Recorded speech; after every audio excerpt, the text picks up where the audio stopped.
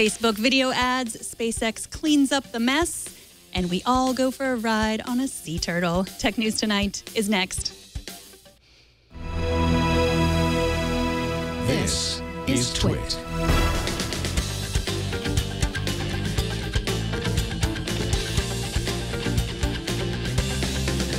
This is Tech News Tonight, episode 372 for Thursday, July 2nd, 2015. This episode of Tech News Tonight is brought to you by Braintree. If you're working on a mobile app and searching for a simple payment solution, check out Braintree. With one simple integration, you can offer your customers every way to pay. To learn more and for your first $50,000 in transactions fee-free, go to braintreepayments.com slash technight. Welcome. I am Megan Morrone. Let's get to today's big news. Recode reports that Facebook has a plan to start monetizing videos and to share that ad revenue with some of its popular video creators.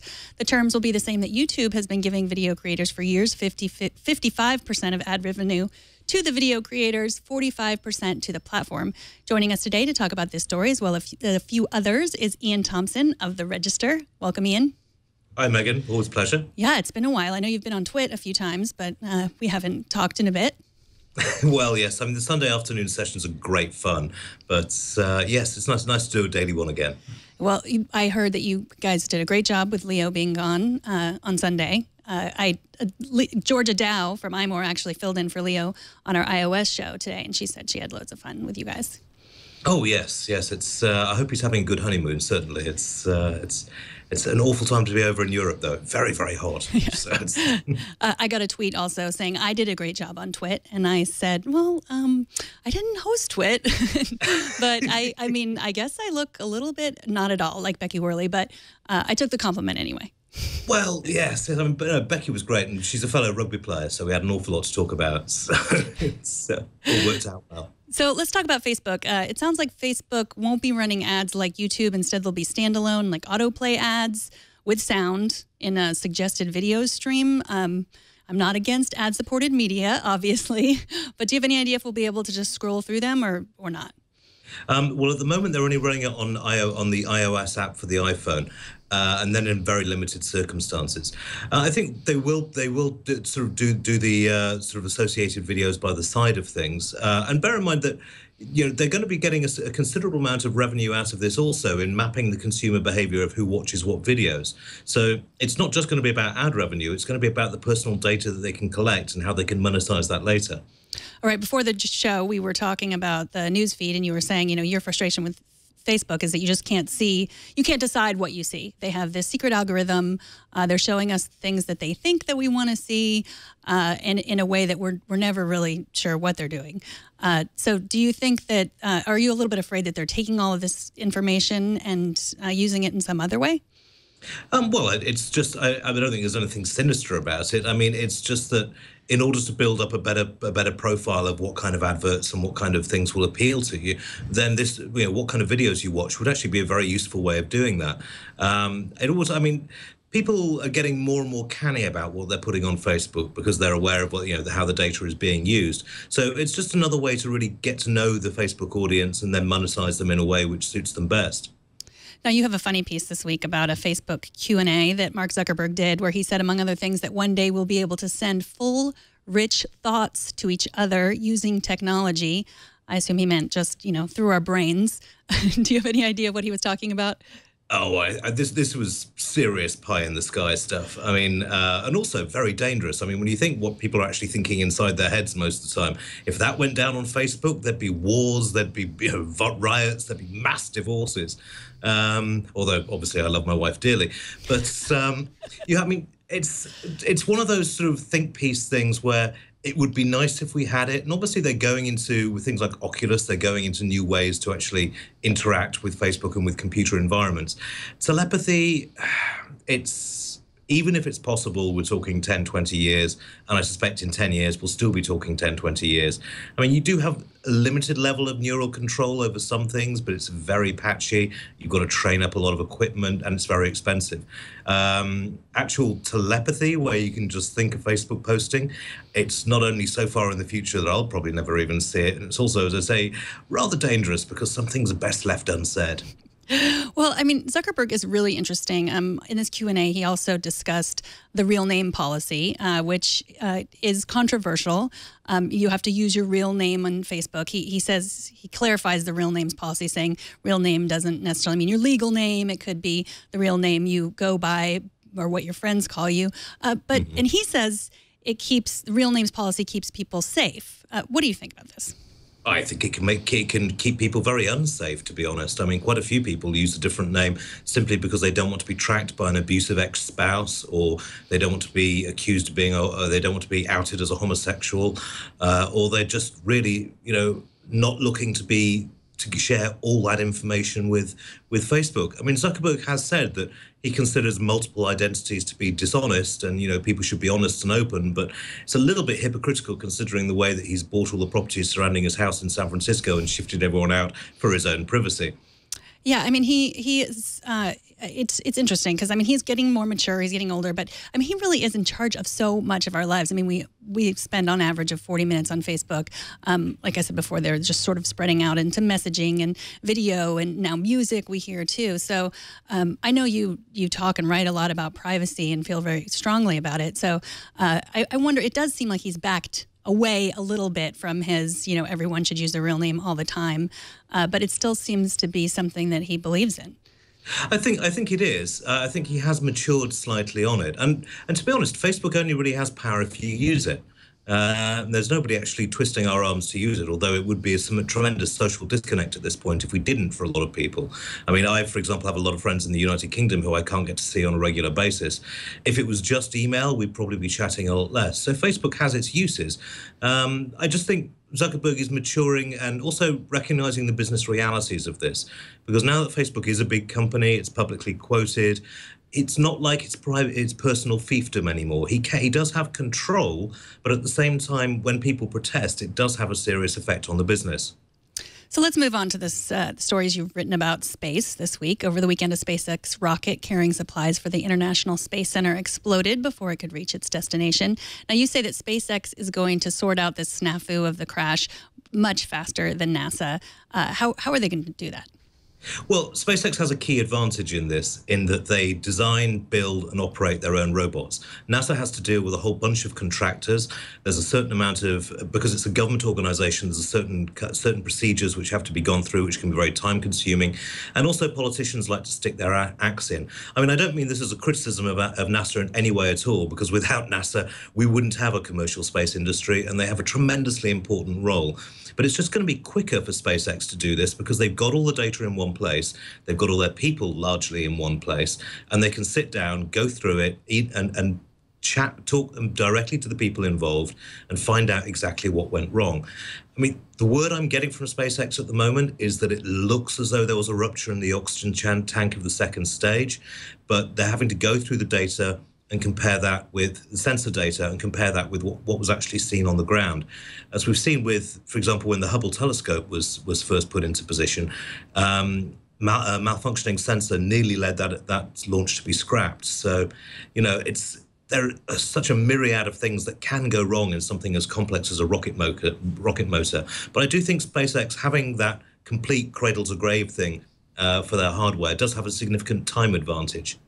So, among the supplies on the SpaceX rocket was two pairs of Microsoft's HoloLens aug- augmented reality goggles, which we've talked about. I know you got to play with a few times. But there mm-hmm. were also other supplies like food. Are the astronauts at the International Space, Space Station going to be okay without these? Um, well, yes. Thankfully, uh, this was taken into account with the planning for the ISS in the first place. They generally have about six months' supplies of food as a reserve, not even you know sort of for, day to day stuff. And NASA's confident that they've got enough uh, food and critically uh, water uh, to last for at least until October. Now there's another Russian there's a Russian rocket going up on Friday morning, uh, which is carrying about three tons of food and supplies. And uh, fingers crossed, uh, the last three attempts haven't gone particularly well, but fingers crossed that one should actually go go off smoothly. They're using a reliable, if older, rocket and a new cargo uh, Progress cargo pod to do it. Well, Iain, thank you so much for joining us. Is there anything else you're working on that you can talk about? Um, well, actually, coming back to Facebook, they're trying. A, uh, they've just displayed a new laser communication system, which they're going to put on drones, solar-powered drones, the size of 737 aircraft, and fly them over remote areas to beam internet access down. If that works, that could be really fun. So I thought that I had read that they were uh, scaling back on the beaming internet access to space. Was that Apparently not. No. Um, Zuck, Zuck went on his Facebook page yesterday to show pictures of this uh, laser display system, and they've already talked about these drones and saying they've got sort of decent testing done uh, back in the UK. So uh, I think they're going ahead with it. They may be scaling back their ambitions slightly, but um, I think certainly we'll we'll see at least a prototype test stage. It's possible they might abandon the whole thing, but he does seem very committed to this. So is that piece already up on the register? Uh, it is indeed. Yes, we've uh, we've just popped it up there for you. Excellent. Well, uh, you can go to the register and see Iain's work, the the stories we talked about in this one, and more every day. so thank you so much, Iain. Okay, enjoy the weekend celebrating kicking us Brits out of your country. yes, we will. And stay safe in San Francisco. oh, I'm sure we'll be fine. Take care. And you. Bye bye. Bye bye. Coming up, why one analyst thinks the Apple Watch sales are slowing, and are you ready for Windows 10? But first, this episode of Tech News Tonight is brought to you by Braintree, code for easy online payments. If you're a mobile app developer, check out Braintree. It's a payment solution used by companies like Uber, Airbnb, Hotel Tonight, Living Social, and Munchery. Braintree has made the payment experience in these apps seamless and magical, and now you can add a similar experience to your own app. There's excellent customer service, very simple integration. Braintree gets you ready to receive payments very quickly. And Braintree's continuous support plus fast payouts means you'll be prepared as your company grows from your first dollar to your billionth. Braintree is helping solve the problem of mobile cart abandonment by offering a best in class mobile checkout experience. Braintree gives you a full stack payment solution, support for all payment types your customers might want. You can start accepting PayPal or Apple Pay, Bitcoin, Venmo, cards, and more, all with a single integration across all platforms with superior fraud protection, customer service, and fast payouts. To learn more and for your first $50,000 in transactions fee-free, go to braintreepayments.com slash technight. Now, on to a few more stories we're following today. Writing in the Windows blog, Microsoft's VP of Operating Systems, Terry Myerson, outlined the Windows 10 rollout plan that's scheduled to start July 29th. Windows insiders will be the first to get Windows 10, and then Microsoft will start notifying reserved systems in waves. Each day of the rollout, Myerson says, we will listen, learn, and update the experience for all Windows 10 users. If your system is eligible, you should have already seen a new icon in your notification tray and a pop up that says, Your PC is ready for your free upgrade. We're always talking about how the internet is making us less interested in books, but maybe some people out there are reading too much.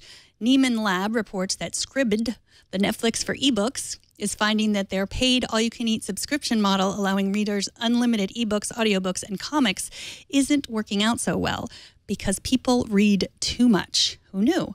Well, anyone who's known someone addicted to romance novels knew this. Scribd and, and, its competitor Oyster pay publishers when one of their books is read, and romance readers are reading too much to make the service profitable. For now, the company is taking down some of its catalog of popular romance novels.